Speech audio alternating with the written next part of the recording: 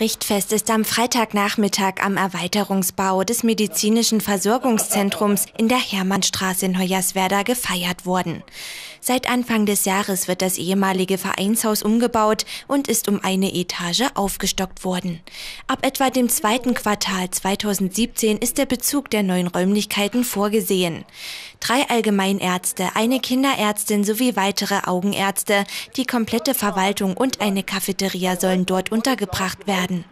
Im bisherigen Augen-MVZ ist geplant, den gewonnenen Platz für eine bessere Patientenversorgung zu nutzen. Auch eine Erweiterung auf kosmetische Eingriffe ist vorgesehen, die dann weitere Behandlungsräume benötigt. In den Erweiterungsbau werden 2,4 Millionen Euro investiert. Im Augen-MVZ werden aktuell 200 bis 300 Patienten täglich von sieben Ärzten versorgt.